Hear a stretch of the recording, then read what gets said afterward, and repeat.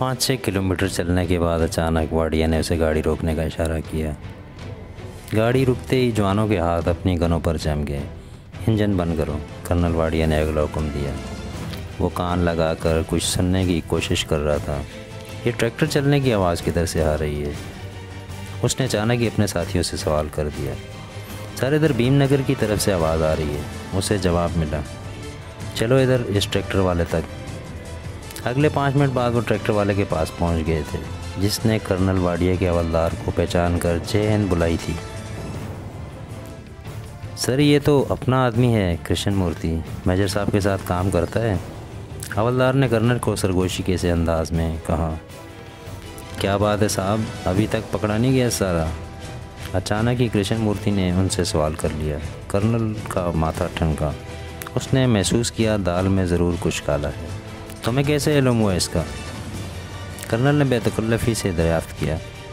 साहब, अभी कोई आध पौन घंटा पहले एक इंस्पेक्टर साहब भी जीप पर उसे ढूंढता हुआ इस तरफ़ आया था। उसने अपने हमको बताया और सावधान रहने को भी कहा था। मैंने चौकीदार को कह दिया है, सुबह गाँव वालों को भी सावधान कर दूँगा। किशन मूर्ति कहता चला गया और कर्नल का दिल बैठने लगा। अच्छा यार, बाकी बातें छोड़ो। वो इंस्पेक्टर किधर गया था? उसे यकीन था कि ये इंस्पेक्टर ही दरअसल कैप्टन जमशेद था। और वो इस तरफ़ फ़रार हुआ है। सर, उसने रेलवे लाइन का पूछा था, इधर ही ढूँढने गया है उस गुड़ घुसपैठिए को। इस रास्ते से गया था, जीप थी उसके पास। किशन मूर्ति ने हाथ के इशारे से उनकी रहनमाई की। कर्नल वाडिया ने अपने ड्राइवर को रास्ता समझने के लिए कहा और कृष्ण मूर्ति को कुछ कहे सुने बगैर इस तरफ़ चल दिए। नहर के पुल के पार वो रुक गया।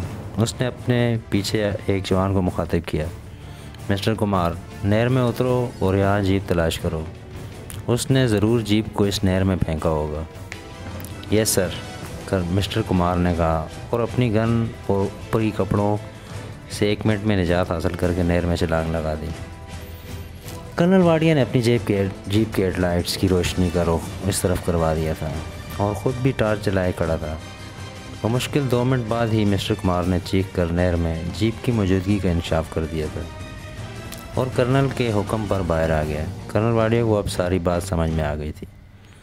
वो जान चुका था कि इंस्पेक्टर की वर्दी में मलबूस, जमशेद ने जंगल से जीप चुराई और इस पर फरार हुआ था। और यहाँ से तो या तो वो पैदल या फिर ट्रेन पर फरार हुआ है। दो ही इम्कान हो सकते थे। लेकिन ट्रेन यहाँ रुकती तो नहीं, उसने अपने आप से सवाल किया। और फिर ख़ुद ही उसे इस सवाल का जवाब भी मिल गया। ऐसे चालाक आदमी के लिए ये कौन सा मसला था? उसने सिग्नल डाउन करके ट्रेन रुकवा दी होगी, या फिर कोई और तरीका इख्तियार किया होगा। लेकिन ये भी तो मुमकिन था, वो यहाँ से पैदल न फरार हुआ हो। कर्नल वाडिया ने फिल वक्त किसी एक ऑप्शन पर मगजमारी करने के बजाय दोनों मफरूज़ात पर काम करना ज़्यादा बेहतर समझा। दूसरे ही लम्बे वो जीप के वायरलेस से खसूसी अहकाम जारी कर रहा था। कर्नल वाडिया ने यहाँ एक तरफ़ इस इलाके में मौजूद तमाम एजेंसियों और पुलिस को रेलवे लाइन के साथ दोनों तरफ़ मौजूद देहातों, ट्रकों, नदी नालों का चप्पा चप्पा छानने का हुक्म दिया था। वहीं दूसरी तरफ़ उसने अपने हेडकोार्टर से रबता करके उन्हें सूरत हाल की संगीनी का एहसास भी दिलाया था। हेडकोार्टर ने रेलवे के आला काम को स्टैंड बाई करते हुए गंगानगर रेलवे स्टेशन की तरफ़ फौजियों की दौड़ें लगवा दी थी। कर्नल वाडिया ने खुद वहाँ हेलीकॉप्टर मंगवा लिया, जिस पर वो गंगानगर की तरफ़ जा रहा था। मालगाड़ी जब गंगानगर के रेलवे स्टेशन में दाखिल हुई तो ड्राइवर और उसके बाकी दोनों साथियों को यूँ लगा जैसे वो मैदान जंग में पहुँच गए हों। फौज ने घेरा डाल रखा था। उसने अपने साथियों से कपकपाती आवाज़ में कहा, अबे, कोई मामूली डाकू नहीं था? फौज नहीं तो और क्या यहाँ शेर की तवाइफें आती उसके इस्तबाल के लिए? साले ज़बान बाँध बंद रखना, वरना ये मार मार कर उलिया बिगाड़ देंगे। गार्ड ने उसे समझाते हुए कहा, ठीक है ठीक है, तुम चुप रहो। ड्राइवर इतनी फ़ौज देखकर घबरा गया था। ट्रेन के ब्रेक, उसने बड़ी घबराहट ही में खींचे थे और वो मामूल से कदरे पहले ही रुक गई थी। ट्रेन के आस्था होते ही उसने देखा, कई फ़ौजी डब्बों से लटक गए। ट्रेन रुकते ही उन्होंने इन तीनों की तरफ़ राइफलें तान ली। तीनों घबरा गए। नीचे उतरो, एक फ़ौजी ऑफिसर ने उन्हें हुक्म दिया। तीनों नीचे आ गए। तुम्हारे साथ और कोई है? इस फौजी अफसर ने बड़ी सख्ती से पूछा। नहीं महाराज हमारे साथ और कौन होता? इंजन में ने मैंने जो करे होशियार में दिखाई देता था जवाब दिया। हम्म, उस उसकी तरफ़ देखकर उसी फौजी अफीसर ने बड़े अजीब से लहजे में कहा तो तुम्हारे साथ और कोई नहीं था? नहीं माई बाप महाराज हम हमेशा तीनों ही होते हैं। अगर रेलवे स्टाफ का कोई आदमी सवार हो तो वो भी हमारे साथ ही आता है। बाकी बोगियाँ सब लॉक हैं। इनमें माल होता है या फिर पेट्रोल, इन्हें पीछे ही सील कर दिया जाता है।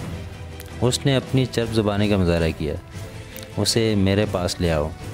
फौजी अफीसर ने अचानक अपने जवानों को हुक्म दिया और ख़ुद दूसरी तरफ़ मुँह करके चल दिया। उसने बड़ा ज़बरदस्त नफसियाती अरबा आजमाया था। तीन चार फौजियों ने उसे घेरे में लेकर एक तरफ़ चलने का हुक्म दिया। बाकी दोनों को भी वो अलग अलग ले जा रहे थे। उनके चेहरे जर्द हो रहे थे। खौफ के मारे, ऐसी हालत थी कि काटो तो बदन में खून ही ना हो। इंजन मैन की हालत कुछ ज़्यादा ही गैर होने लगी थी।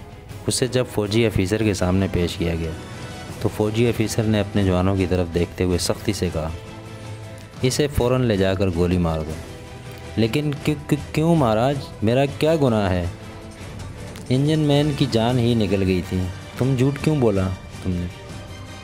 तुमने पहले जासूस को पनाह दी और आप झूठ बोल रहे हो। अच्छा तुम ही बताओ कि तुम्हें इसके लिए कौन सी सज़ा दी जाए? फौजी ऑफिसर ने उसकी आँखों में झांका तो इंजन मैन को यूँ लगा जैसे उसकी आँखों से बरकी लहरें खारिज होकर इंजन मैन के जिसम को छेदने लगी हों।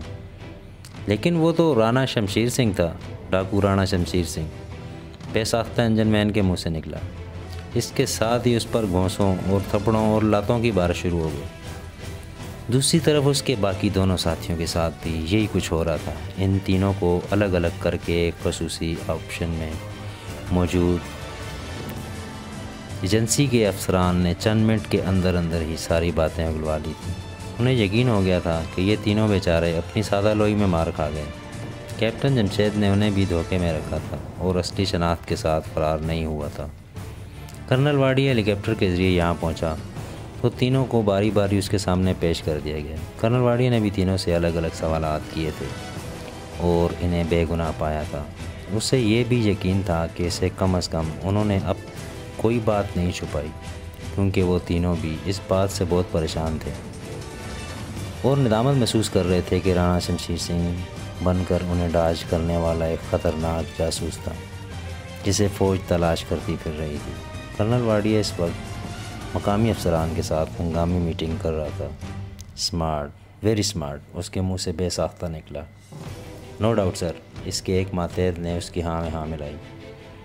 हैरत की बात है कि सरहद से यहाँ तक उसने किसी भी जगह अपनी असलियत ज़ाहिर नहीं होने दी।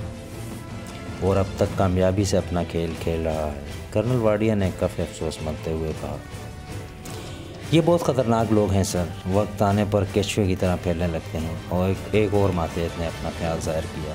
वेल जेंटलमैन ने लिए बहुत शर्म की बात होगी अगर वो इस तरह डाज देकर सरहद पार कर गया।